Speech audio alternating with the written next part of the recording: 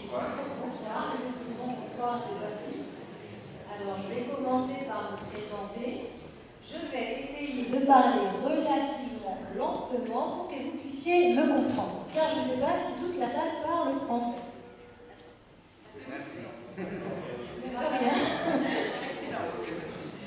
Alors, je m'appelle Judith, je travaille à l'école de langue. Voilà. Euh, je vais donc vous présenter un film, le film que vous allez voir ce Il dure deux heures. C'est un film qui s'appelle Sampa, qui a été réalisé en 2012, 2014, pardon, par Eric Toledano et Olivier Nakache. Ce sont aussi les réalisateurs d'Intouchable. Vous avez sûrement vu Intouchable, je sais qu'il a été très connu ici en Espagne. Intouchable en 2012. Donc ces deux messieurs ont repris euh, le personnage principal, Omar Sy, pour jouer une fois de plus leur personnage principal ici, Samba. Samba, c'est l'histoire d'un jeune immigré euh, sénégalais qui s'installe en France. Ça fait dix ans qu'il est en France, il vit à Paris, et il cumule les petits emplois. Euh, des petits emplois de toutes sortes, effectivement. Ça passe par les plonges de cuisine, il fait la plonge. La plonge, c'est la vaisselle. Euh, il travaille dans les échafaudages, sur les échafaudages, lave les carreaux. il travaille dans les chantiers aussi. Donc il attend à 5 h du matin qu'un chef chantier vienne demander, chercher des employés sans papier. Et euh, c'est le quotidien de ce jeune monsieur qui cherche à se faire une place en France et à s'intégrer. Du coup, euh, c'est une comédie sociale et dramatique. Euh, dramatique, même s'il y a un petit peu d'humour aussi là-dedans. donc, Sampa, ça sonne danse brésilienne. Mais c'est donc une histoire euh, des immigrés de façon générale, qui se cachent par peur d'être contrôlés par la police et reconduits à la frontière.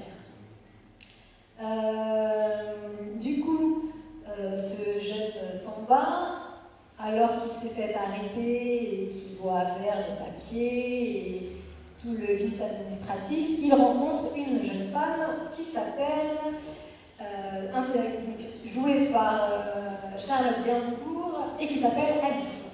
Euh, Alice est une jeune bobo, c'est-à-dire une petite bourgeoise, qui est chef d'entreprise. Elle est cadre supérieure à la Défense, à Paris.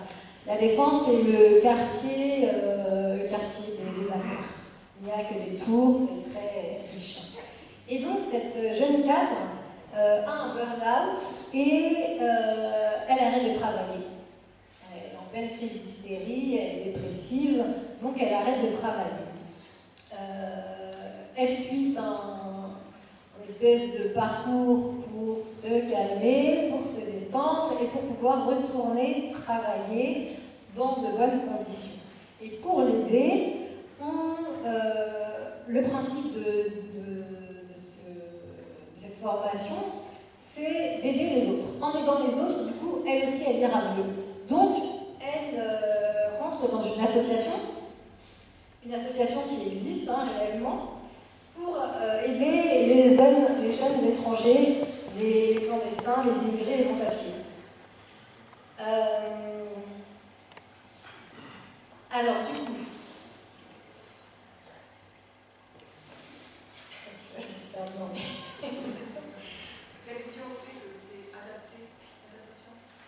oui, du coup, je vais, vous lire un extrait, parce que c'est un film qui est adapté d'un livre. Et vous en lire l'extrait. Le, livre, c'est de Madame Delphine Poulain. C'est euh, un écrivain français qui a réellement travaillé au sein de l'association qui s'appelle CIMAD. Et CIMAD, c'est l'association que vous verrez aussi dans le film. C'est le comité intermouvement auprès des évacués. Donc, l'extrait de ce livre, je commence à vous le lire.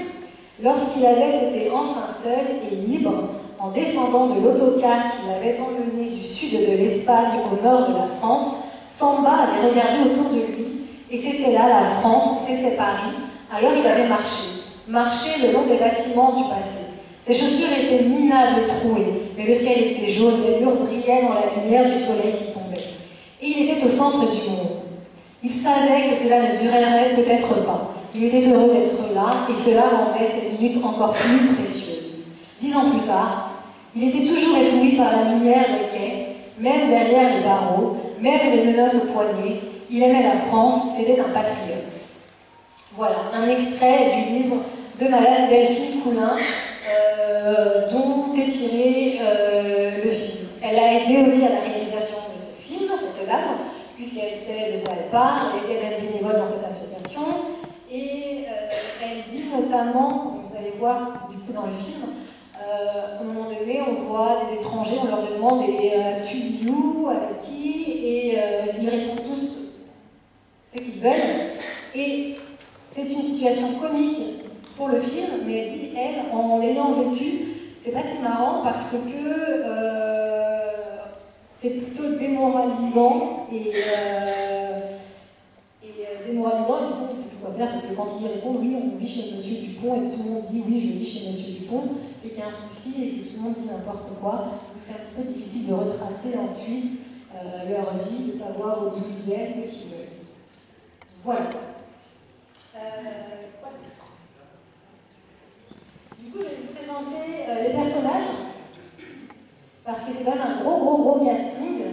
On a fait appel à de gros acteurs, Omar Sy, que vous connaissez d'Intouchable, et euh, mademoiselle Isia Higelin. Isia Higelin, je ne sais pas si vous la connaissez, mais elle est très connue en France, parce que son papa est très connu. Son papa, c'est Jacques Higelin, Jacques Higelin, c'est un chanteur de rock euh, des années 60, 70, extrêmement populaire. Et sa fille chante aussi du rock. Et sa fille, c'est une bête de scène. Donc ça vaut le coup d'aller la voir sur scène en particulier. Elle a une très belle voix. On passe sa voix à Johnny Jenkins à chaque fois. Et du coup, elle est Manu dans le film. Euh, Manu, c'est une jeune étudiante de droit qui milite et qui aide les sans-papiers. Euh, donc pour parler un petit peu d'Isia, euh, son papa, comme je vous l'ai dit, est très célèbre parce que c'est un chanteur de rock, et son frère Arthur H, Arthur Higelin, est aussi très connu. Sa maman, elle s'appelle Aziza et c'est une danseuse d'origine tunisienne, un peu moins connue. Euh, sort son premier album en 2009, son groupe s'appelle Isia, comme elle, et elle a chanté notamment avec l'équipe hop euh, ces albums sont inspirés de Led Zeppelin et de Nirvana. Ensuite, euh, Isia, du coup Manu dans le film, s'éprend d'un jeune homme, d'un jeune sans-papier qui s'appelle Wilson dans le film, son vrai nom c'est pas Raïm. Wilson, il est algérien, mais Wilson se veut passer pour un Brésilien, parce qu'il dit que c'est plus facile de trouver du travail et d'être accepté quand on est euh, Brésilien plutôt que quand on est algérien. Du coup, il se devait passer pour un Brésilien, il prend l'accent brésilien. Euh, donc, Manu s'éprend de ce jeune Wilson. Wilson, c'est euh, un acteur du coup très connu, il est jeune, il est né en 81. Euh, vous l'avez peut-être vu dans le film qui s'appelle Prophète. Prophète, je ne sais pas si vous connaissez le film, très connu, il a, été, il a eu un César, il a été reconnu comme étant un des meilleurs acteurs de sa génération grâce à ce film. Et il a notamment joué avec Antonio Banderas dans Or Noir. Ensuite, euh, Omar Sy, du coup, l'acteur principal, Omar Sy est en 78 à Trappes. Euh, il est notamment connu grâce à ses petits sketchs qu'il a fait avec son ami Fred et euh, grosse popularité avec Intouchable. Du coup, Intouchable que vous connaissez aussi ici. Euh, Omar Sy, il est d'origine, sa maman est mauritanienne, son papa est sénégalais. C'est pas pour autant qu'il dit comprendre euh, le rôle de Samba. Il dit qu'il a dû regarder des films sur l'immigration parce que lui n'est pas sans papier. Euh, lui, quand il marche dans la rue en France, il dit qu'il marche la tête haute, qu'il n'a pas peur de croiser le regard des gens et que ce n'est pas du tout ce qui se passe avec Samba. Samba a peur à chaque fois, quand il marche dans la rue, c'est la peur au ventre, la peur euh, de croiser un policier, qu'on lui demande ses papiers, etc. Donc il dit qu'il a dû, même si ses parents, son papa est sénégalais, euh, il a dû quand même se mettre dans le rôle et ça n'a pas car il dit ne pas avoir beaucoup de points en commun avec Samba. Et bien sûr, Charlotte Gainsbourg, vous connaissez très probablement son papa, Serge Gainsbourg, sa maman aussi probablement, Jeanne Birkin. Charlotte Gainsbourg, elle a 43 ans, elle est née à Londres. Euh, elle joue le rôle d'Alice. Et Alice, donc, cette jeune femme euh, déprimée qui va venir en aide sans papier dans le but de s'aider elle-même.